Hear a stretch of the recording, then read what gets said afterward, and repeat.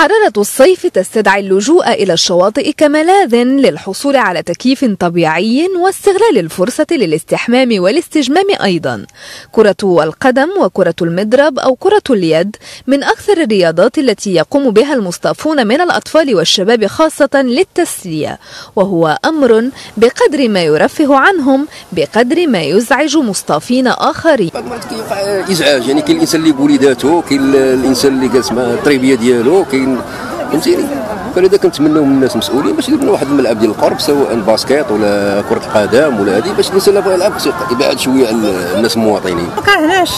نضبوا هذا الشيء اللي زوين هنايا ما كرهناش. يديروا لهم شي ملعب فين يلعبوا الدراري وهذا شي حاجة. يبقى المواطن جالسين على خاطرهم.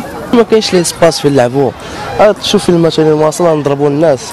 ما كاين فين نلعبوا كون كان فين راه غنمشيو. كاينش لي سباس. آه. ولا وجدنا فضاءات هنا فين نلعبوا صافي يحدث هذا في الوقت الذي تنتعش فيه مجموعة من الرياضات البحرية في هذا الفصل في شاطئ الرباط وهي رياضات تؤطرها جمعيات المجتمع المدني حتى تمارس بشكل لا يقلق راحة المصطافين نموذجا النادي البحري لشاطئ الرباط. وخدينا على عاتق ديالنا أنه كنديروا حملات تحسيسية لا بالنسبة للنظافة اللي هي مهمة بعد كاين نظافة الشاطئ.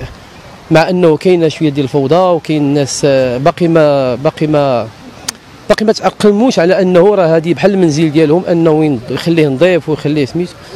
وكذلك كنحاولوا نديروا حملات خرجنا لوجود هذه الرياضات لأنه كانت في شحال هذه ماشي في إمكان ديال الجميع. دابا حنا حنخرجوا للطبقة المتوسطة اللي بحالنا.